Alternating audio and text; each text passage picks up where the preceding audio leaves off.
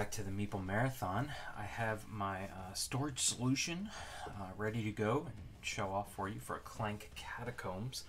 Um, uh, so again, I uh, despise baggies for the most part, but for right now, uh, you'll notice that I do still have the uh, kind of player pieces in baggies. I haven't quite figured out what I, I want to do with those, but obviously we've got the instruction manual on the top here, and then this big board here tucked in the corner because you'll notice a lot of my tokens are in this 3400 Plano series and it just doesn't quite fit in there. You got to kind of tilt it a little bit, but as long as you put the high end towards one edge of the box, then that uh, the, the clank board will fit. All of my cards are sleeved um, at this point, and so you know there's plenty of room in here to sleeve them. You will notice that if they stand straight up, they're too high. So uh, do have it set up so that they can kind of lay down at an angle. I have used the uh, little tabs that are built in to this um, cardboard insert here just to separate them out. These are like the reserves here in the back and then everything else here in the front. And that just is going to kind of keep them from sliding around.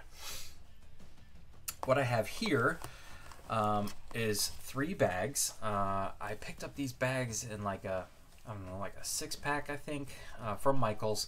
They're a little small, to be honest with you. Uh, I can get two fingers in there, but I certainly can't get my whole hand in there.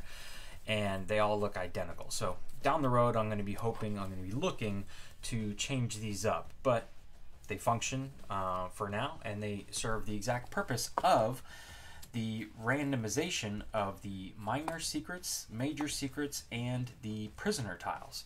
So again, I will eventually want a way to um, be able to determine which is which without kind of feeling around or even peeking in it and shaking it back up again. But there's really no reason why you need to create a pile off to the side, make sure they're all flipped over and randomized when you can just use a baggie for something like this. So again, we saw the prisoners in this one. This one is the you know major secrets, the larger question mark circles, and here we have the minor secrets. Basically, every time you flip over a tile and you've revealed one of those symbols, you're going to pull these things out of the bag. Or if you unlock a treasure chest, or you know, um, so yeah, these fit just fine right there. There's plenty of room to get a thicker bag. Uh, you could even probably flip flop this bag. So this is the bag that comes with the game. And for right now, I just have um, the cubes in there, still in their baggies. Because again, I'm not 100% sure, do I want to dump everything in here and just, I could easily pull out the meeples. Um, that way at the beginning of the game you're like dumping everything out. Or do I just put the black ones in there? But that doesn't, that seems to be wasting this bag as far as a storage solution is concerned. So for right now I still have them all here in the bags. Each one of these has a little silica gel packet in them don't throw those away. Keep those tucked away in your box somewhere. That's going to keep these cardboard tiles from warping and spinning on you when you're playing. It'll keep everything flat. So for right now, this is just everything in that bag there. And then you can see down below here, I basically just have the tiles divided in a, a two equal stacks the large catacombs tile, the starting tile is on the bottom. You could easily put it on the top. And then this guy's just, you know, dropped on top there. That gives you a place to put your Plano box. Now, I you could also do it this way. You could pick up and just have one stack if you don't pick up the bottom one. In this case, you do have to have the uh, starting tile there on the bottom. But you could just do it that way. Put this down on the bottom.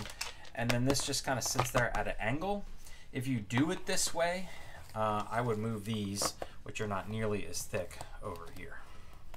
Right. These just take up a lot less room.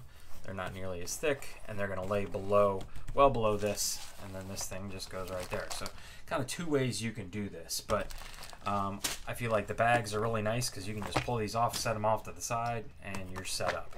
Then everything in here is stuff that you're either going to pull out uh, automatically like your artifacts here. You're going to pull them out and stack them up. You're going to pull out the dragon meeple here. You're going to pull out the market tiles and the golden monkeys. These are going to go onto the board uh, in places. And then your money and your lockpicks, this, you know, Plano boxes make it easy to reach in here, pull out what you need, and throw them back in there. And that's it, ladies and gentlemen. Super simple. Again, this is a Plano 3400 series. You can find these on Amazon. You can find them at Walmart. You can find them at any, you know, Dick's Sporting Goods, Bass Pro Shop, anywhere that sells fishing supplies is almost guaranteed to have one of those. I will put a link in the description below for these bags if I can find them back on Michael's again. That's just something I had on hand. But I do know that you can find velvet bags on Amazon and places like Miniature Market have them your friendly local game store is going to have them. So just track you one down. And um, yeah, here you can see it very easily. Everything goes back into the box. And so that's going to do it for our storage solution for Clank Catacombs. If you have any questions, please feel free to let me know in the comment section below. And if you enjoyed this video and want to see additional Clank Catacombs coverage, please consider subscribing to the channel. Once again, thanks for watching. Have a great day.